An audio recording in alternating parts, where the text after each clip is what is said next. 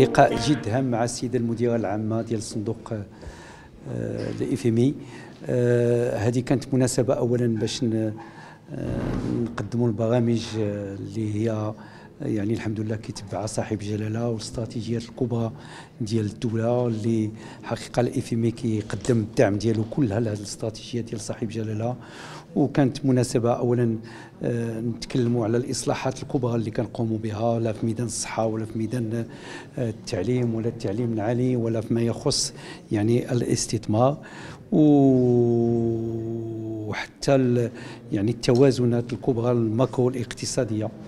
يعني كيفاش بلادنا واخده هذا الطريق ديالها والحمد لله أنه يعني تجاوب جد إيجابي.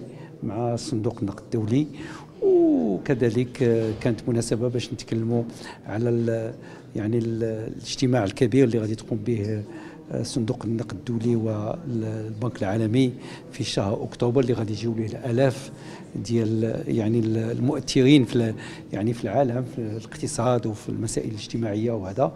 وبانه التنظيم غادي في أحسن الظروف وغادي تكون مناسبة آه، باش يعني إن شاء الله يكون العرض ديال ديال المغرب جيد وهذه يعني مناسبة إفريقية ماشي فقط مغربية اللي غادي تمكن أنه تبين واحد العدد ديال الأفاق ديال التعاون بين صندوق النقد الدولي وكذلك البنك العالمي مع جميع الدول وجميع النشطاء اللي كاينين في هذا الميدان. وشكرا لكم.